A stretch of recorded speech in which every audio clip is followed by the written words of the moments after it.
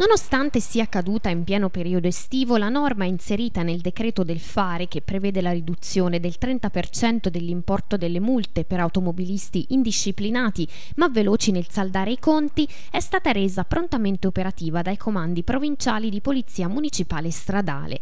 Lo sconto della multa è pari a un terzo dell'importo per chi salda i conti entro 5 giorni dalla ricevuta del verbale.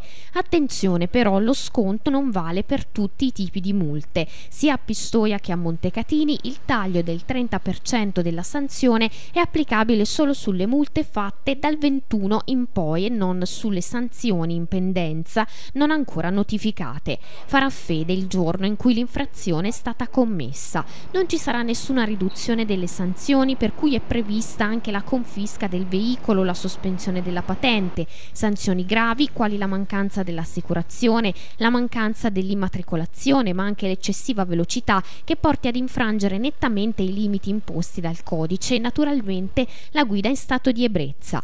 Sono escluse dallo sconto anche tutte quelle multe per cui già precedentemente non era consentito il pagamento in misura ridotta, come ad esempio il mancato rispetto dell'obbligo di fermarsi o di esibire i documenti. Gli agenti sono già stati dotati del doppio tariffario, si può pagare tramite bollettino o in banca, basta non far oltrepassare i 5 giorni dalla notifica. Non c'è comunque da essere troppo contenti, il provvedimento serve soprattutto allo Stato per far cassa. Considerato che spesso le multe non vengono pagate, la riduzione dovrebbe essere un incentivo non da poco a saldare il debito.